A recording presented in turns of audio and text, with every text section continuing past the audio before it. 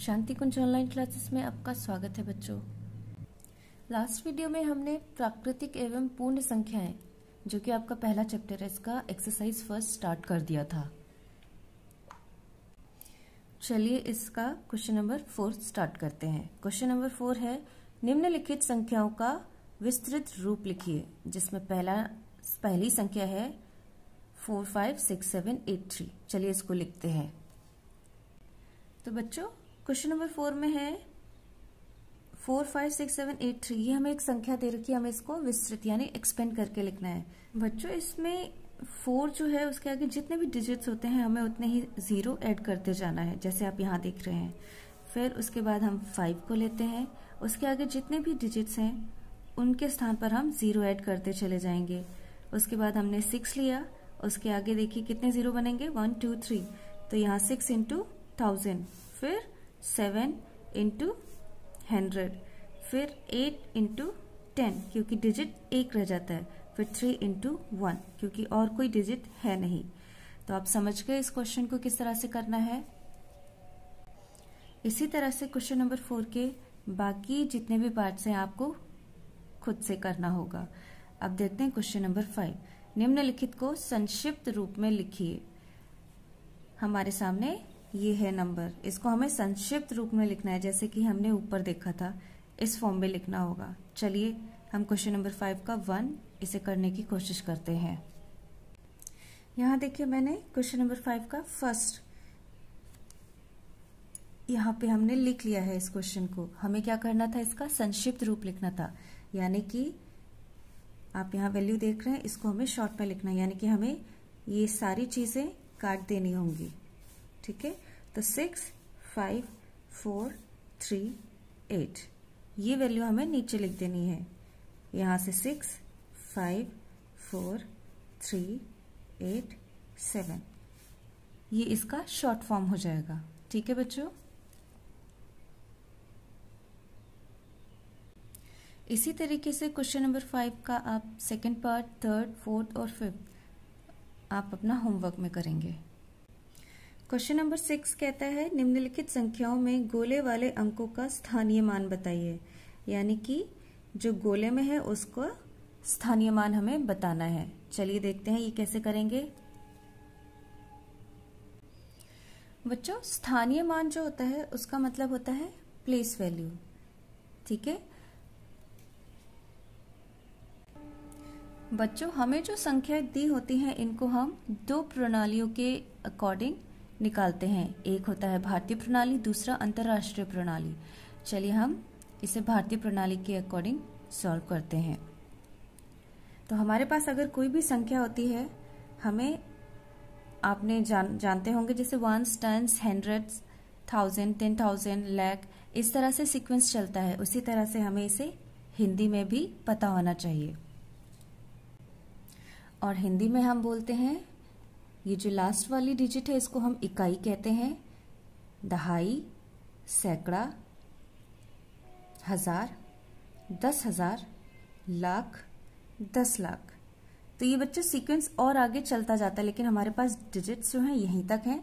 तो हमें फिर ये जो वैल्यू है, जो सर्कल में है, इसका स्थानीय मान, यानी कि प्लेस वैल्यू पता करना है। तो चलिए फिर से देखते हैं एक बार।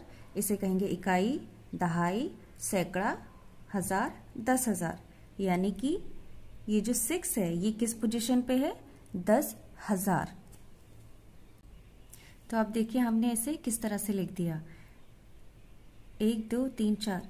इन संख्याओं की जगह हमने सिर्फ़ ज़ीरो बढ़ा दिया और ये सिक्स तो ये इस तरह से हम लिख देंगे। ठीक है? इसी तरह से आप क्वेश्चन नंबर सिक्स के बाकी पार्ट्स को सॉल्व करेंगे। आइए क्वेश्चन नंबर सेवन देखते हैं। निम्नलिखित संख्याओं में गोले वाले अंकों का वास्तविक मान बताइए। अब हमें वास्तविक मान बताना है। बच्चों, क्वेश्चन नंबर सेवन में हमें वास्तविक मान बताना है और वास्तविक मान को हम फेस वैल्यू कहते हैं। तो यहाँ देखिए, पहली जो हमें वैल्यू दी गई है वो है seven eight six nine four five four और इसमें नाइन को सर्कल किया है। तो फेस वैल्यू जो होती है उसमें जो वैल्यू हमें दी जाती है, पता करने को वही उसका आंसर होता है। तो आपका ये जो पहला क्वेश्चन है, इसमें आपका आंसर हो गया नाइन उसी तरह से इसका सेकेंड देखिए, इसमें आंसर होगा हमारा टू ठीक है?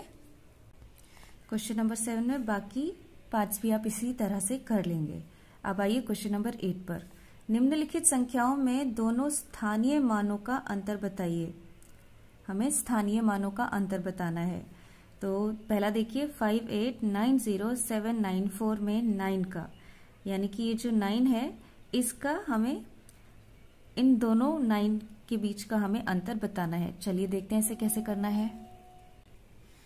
यहाँ देखिए, मैंने इस वैल्यू को यहाँ लिख दिया है five eight nine zero seven nine four और हमें नाइन जो है, इसका स्थानीय मान निकालना है। एक नाइन ये है और एक ये है। तो नाइन के आगे देखिए, one, two, three, four. Four digits हैं। इसको हम ऐसे लिखेंगे। ठीक है?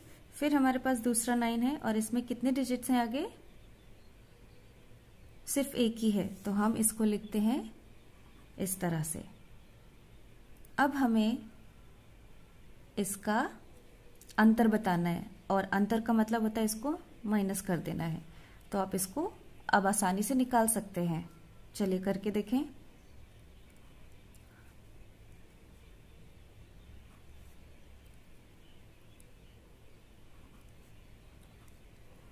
ठीक है?